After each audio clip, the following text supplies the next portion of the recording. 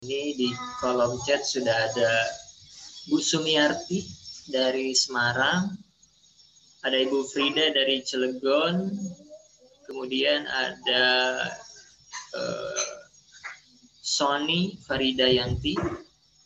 Ya, ini katanya Pak Joni, apakah produk saya sari temulawak idola dari Jember? Bagaimana reviewnya? Nah, kemarin ada, ada review Bu ini sari temulawak idola. Itu yang botol ya kalau nggak salah ya.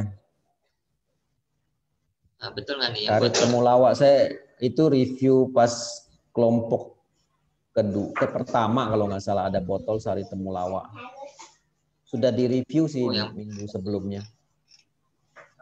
Yang yang pertama malah Bu.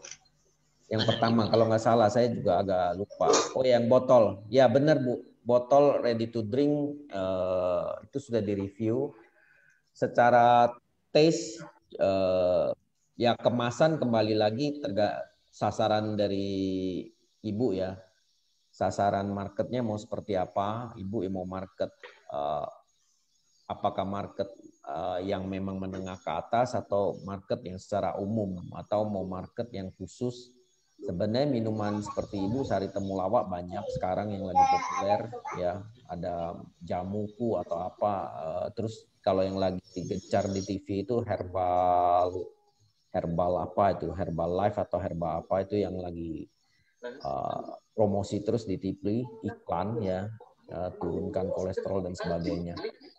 Punya ibu sih secara tes cukup oke okay, ya secara kemasan uh, cuma masih ada kemarin kalau nggak salah saya agak lupa uh, endapannya masih cukup banyak kalau nggak salah ya. Nanti coba saya periksa lagi. Tapi secara rasa uh, saya udah tes cukup cukup, uh, oke okay lah, cukup bagus, bisa bisa diterima. Gitu. Cuma dijual harga berapa saya nggak tahu. Secara kemasan botolnya cukup besar kalau nggak salah. Itu review minggu pertama itu untuk sari temulawak. Oke Ibu Sony, itu sudah pernah direview minggu pertama. Nanti Ibu bisa lihat uh, kalau kemarin nggak sempat nonton, bisa lihat uh, videonya di Big Indonesia Channel di YouTube ya.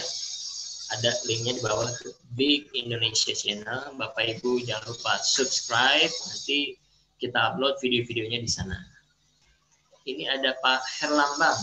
Pak, umumnya syarat apa yang diminta oleh pasar retail modern kalau IKM mau coba oh, masuk ke retail-retail modern?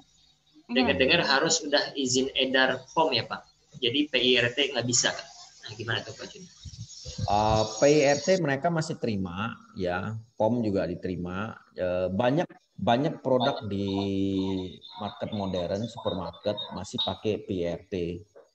Ya, Pak Bambang bisa cek ya, misalnya kalau ke supermarket-supermarket uh, lokal maupun yang sifatnya nasional mereka masih terima PRT. Nah, tentu kalau kita mau masuk ke supermarket, mereka akan tanya, ini produk kita keunggulannya apa ya? Uh, apa bedanya sama produk lain? Terus uh, harga, harga itu strateginya mau jual ke berapa, target marketnya seperti apa, dan pasti juga mereka lihat packaging, packagingnya menarik atau enggak. Setelah lihat semua, mereka akan review kerjasamanya mau seperti apa dan sebagainya.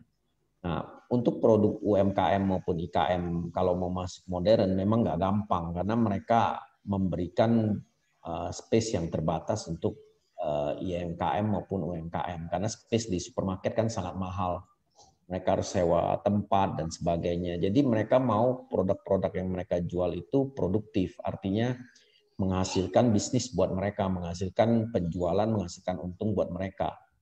Kadang-kadang kalau masuk sendiri satu persatu ke supermarket, bayarnya udah tolak duluan kalau nggak kenal gitu. Tapi kalau misalnya Pak Wisnu yang menjadi wadah untuk bantu seluruh UMKM maupun UMKM membawa latar belakang Istiqlal akan lebih gampang gitu karena mereka lihat oh ini Istiqlal punya uh, anggota produk sehingga bisa di uh, produknya banyak sehingga bisa negosiasi untuk masuk ke supermarket.